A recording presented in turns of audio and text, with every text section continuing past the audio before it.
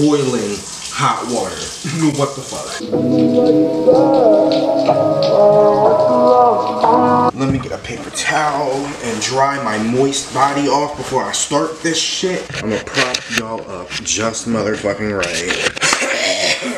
hey guys, what's up? It's your boy Chrizzy, and I'm motherfucking offended. I'm fucking offended as Fizzup, okay? And you wanna know why I'm offended? If you don't give a fuck, then, you know, just click off this video, because, you know, then it's not for you, and I don't want you to watch my shit, because, you know, fuck you. Only the people that love my shit and understand me can watch me, okay? Glad we understand each other, sir. But for all y'all who do care, I'm just highly offended here. Tana Mongeau.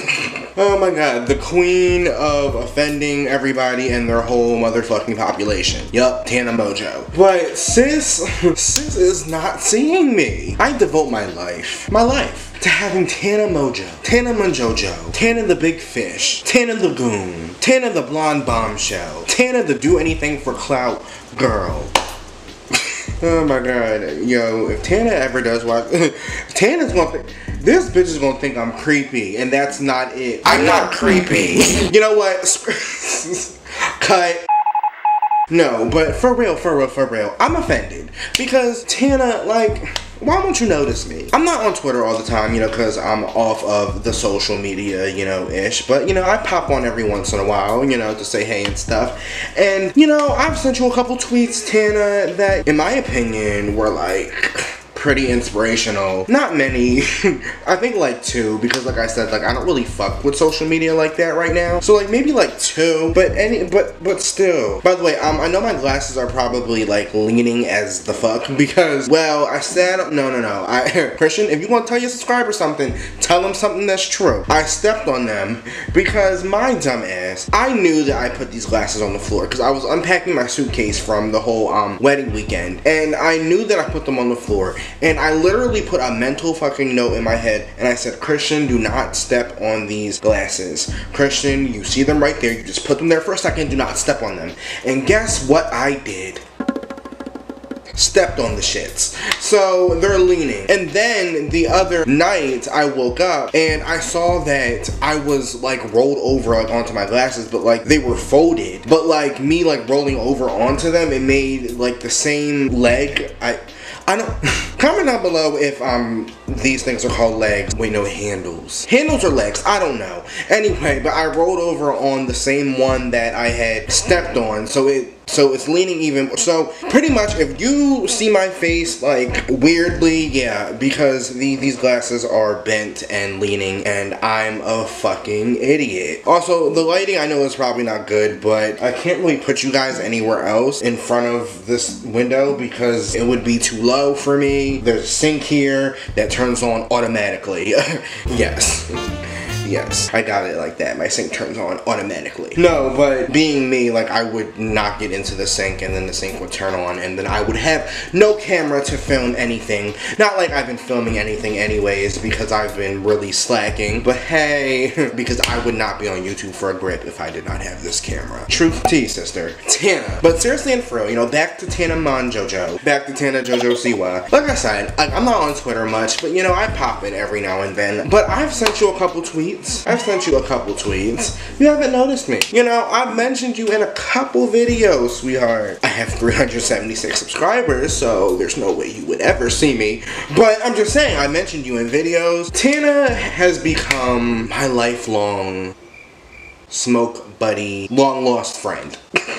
That didn't make no goddamn sense. Um, no, Tana is like somebody that I seriously can vibe with on a level as if I know her. You know what? I sound insane. Where's the fucking straight jackets? But seriously, I vibe with her vibe like through the screen. And like, I know that I said before, you know, I don't hope to be friends with anybody because if I do ever get big, like I'm gonna be fucking disappointed. But she's someone that I hope to come across at least because I wanna know if the same vibe that I feel through the the fucking camera is fucking real. Secondly, I want to smoke with the bitch.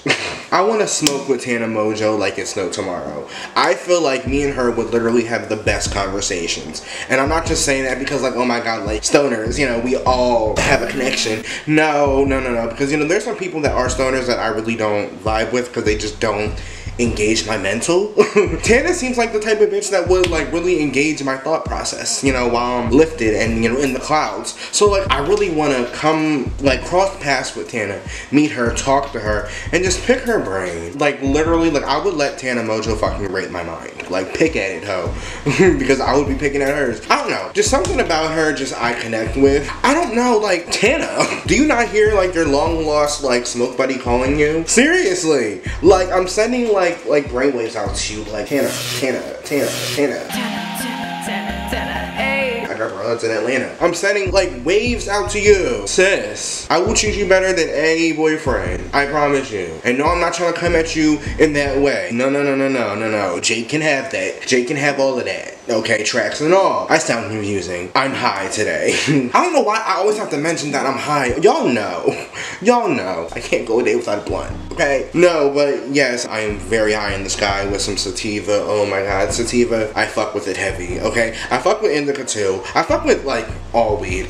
But I don't like feeling tired and like calm. Like I like feeling thinky. Like like I like feeling creative, expressive, euphoric, think deep. Like I like sativa. Okay, so shout out to all my sativa goers. Tana, me and you can smoke sativa together. Okay, Tana, picture this, sis. Picture this, sis. Take off your Gucci glasses, take off your slides, sit back. Picture this, sis. You just lying down, a white fur I said a white fur couch. You know what? I'm gonna change it. Not a white fur couch because you know what? Smoking indoors is cool as chill. Smoking outdoors is better. I come out to Cali. We're sitting on a balcony. A beautiful day. Sun shining, birds are chirping, wind is blowing, palm trees are swaying. It's a good mood, good vibe. We have some Taco Bell sitting right next to us. Crab legs. Love me some crab legs. We have some Italian, some Five Guys, something delicious just right next to us. Okay. And Tana says to me, and guys, this is a scenario, not an actual story, okay? So so, okay, yeah, alright. So Tana says to me, I don't want to eat this food yet. I need a nice blunt, a nice blunt to complement my taste palates before I eat this food. Because, you know, when you get high, you know, shit tastes better. So,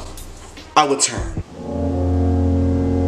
Tana. And then I would slowly pull out a backwoods package. Now, Tana, I don't know if you have fucked with, you know, backwoods before. I don't know your experience on, you know, the backwoods culture. I think you have. Actually, I think you've mentioned that you've smoked backwoods before. But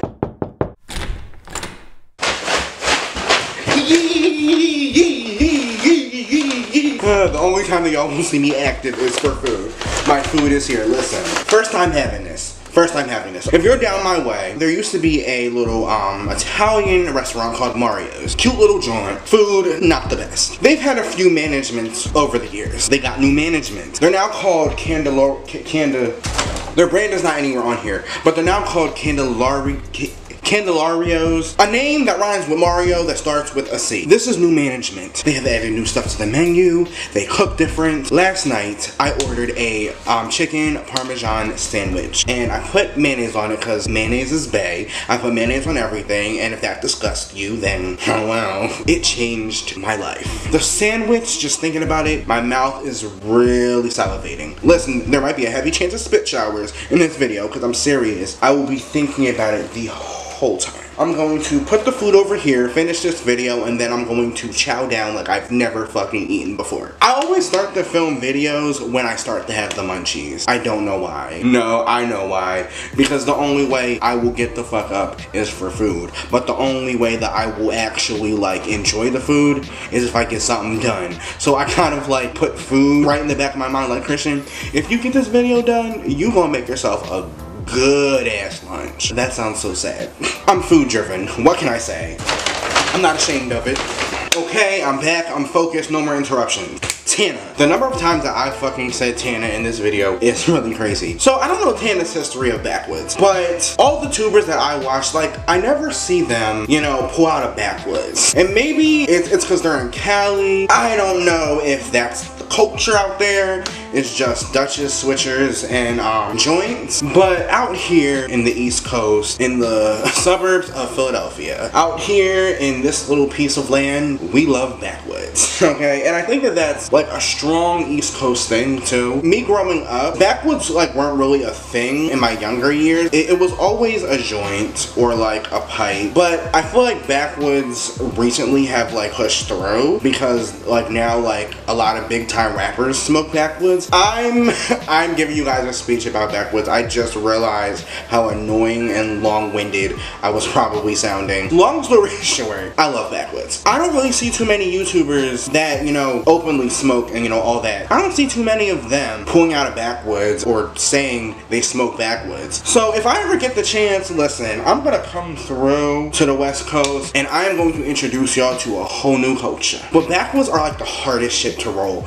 Seriously is. I still can't get a hold of it. I can roll like pretty good. Like I can roll a fat backwood, don't get me wrong, but it takes me a fucking minute. I want to introduce it to some YouTubers because I feel like y'all are not experiencing this session right. But honestly, like I just don't see it that much. Back to my story. I would pull out the backwoods, okay, slowly. Tana would look at me in awe. What do you have there? Backwoods, I see? And I'll be like, yes, Tana. And then she will look out into the distance, turn to me again, and say, Christian, you are the man. But where's the bud? Where is the bud? Don't have to say nothing, don't have to do nothing. Reach in my pocket, pull out a fresh pack of sativa. I roll it up, we smoke, we have a little deep session. Tana would never have a session like a me session ever again in her life. I'm piping myself up way too much. No, but seriously, like, I'm a fun time. You smoke with me, you sit down with me, you light a blunt with me. I'm a fun time. I really am. And I just feel like me and Tana would like connect. Do I sound crazy? Yes, I do. Tana is up there as one of the people that like I want to smoke with. I want Tana to be my fucking smoke buddy at some point in life. Or like at least just have a session with her. A session. But Tana doesn't seem to fucking notice me.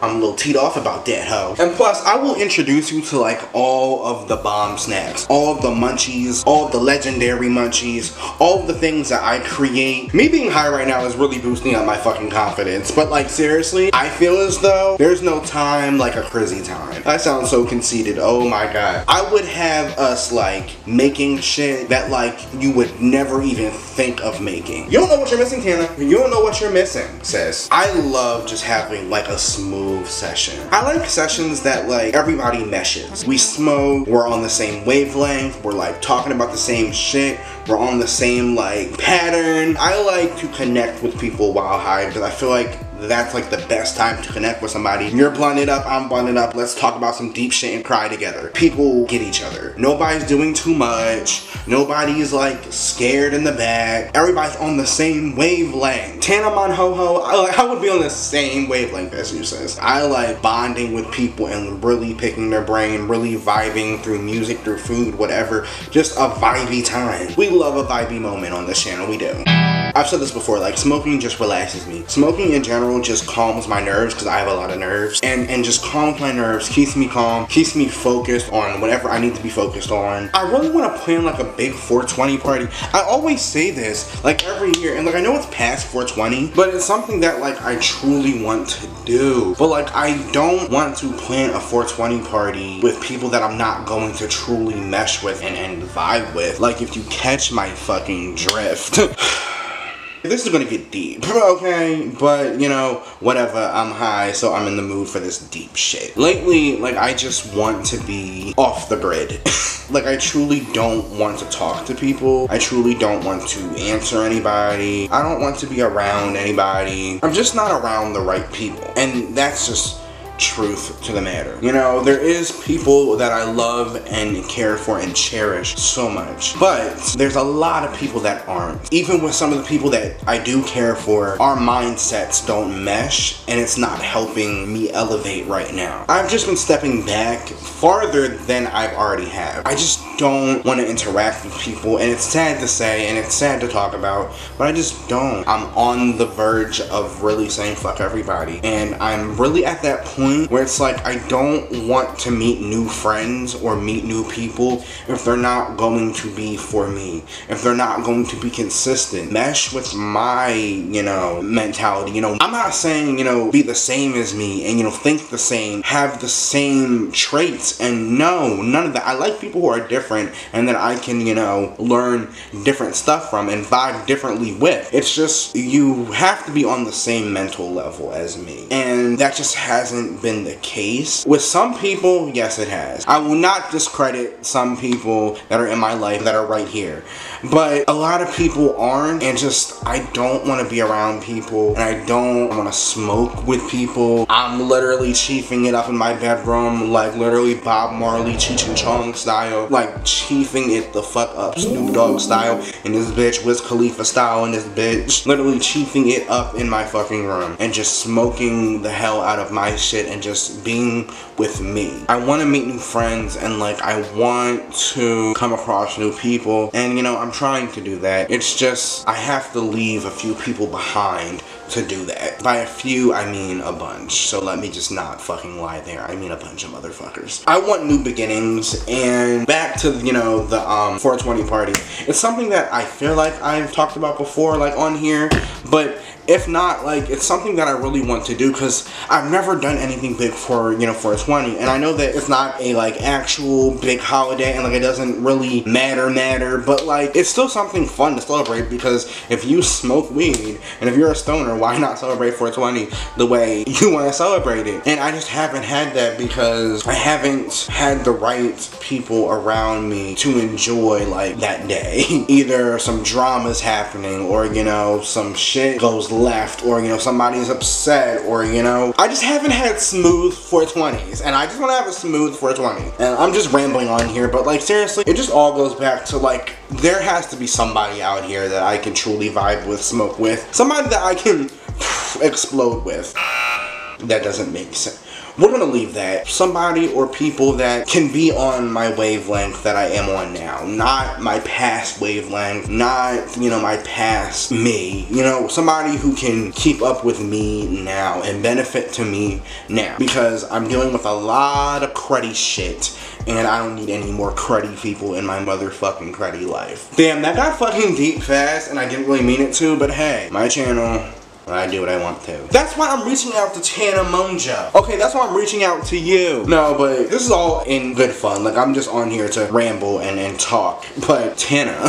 if you want to make like a little boy's dreams come true, just hit my line. You know, slide into my DM. No, don't slide into my DMs because I'm not going to answer because I'm not on there right now. So Tana would be fucking ghosted. Okay, not like she hasn't been ghosted before, but like she would be fucking Caspered. My Instagram and just my social medias in general are just a just a fucking wasteland. Like like dead. Everything's dead. Tana, I would be the best smoke buddy of your life. Hold on, the best smoke buddy of your life.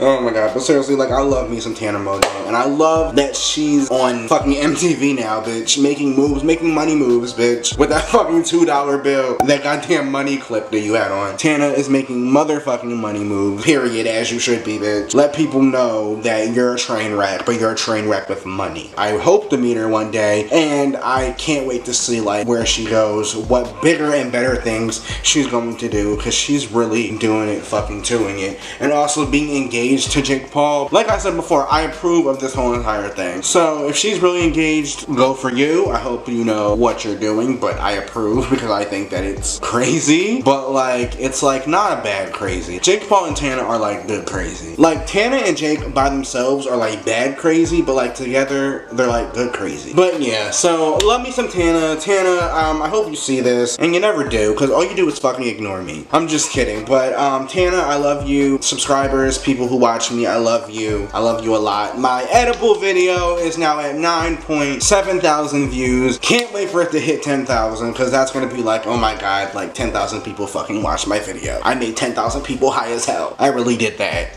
I'm gonna go. I smell the food and I can't even focus on this shit anymore. So I will see you guys in the next vlog or video, whatever the fuck. Let's see if I still remember my outro. I haven't been on here in a goddamn minute. Be real, be true, stay high, bye-bye. Be positive. Hope you're having a great summer. Um, don't get pregnant. Don't take drinks that random people give you. I will see you guys in the next one. All right. Bye, guys.